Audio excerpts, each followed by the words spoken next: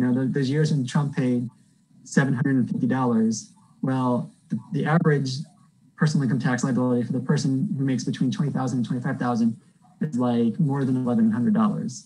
So we have to have some sort of rules, but the rules we have in place are very easily abused by wealthy business people, and they're particularly lenient for real estate investors. They can, um, you know, re- the, the rules for real estate investors are such that they can avoid reporting profits to the IRS easily than other people. And but when it comes to losses, they can much more quickly and easily report losses to the IRS. And you put together, and real estate investors sometimes they can go years and years without ever having to report any income to the IRS, and they can go years without paying taxes. And that's what we've seen with Trump. Trump has a lot of losses that are just real losses. It turns out he's a terrible business person, right? So no matter what the tax rules are, Trump would be reporting losses, right?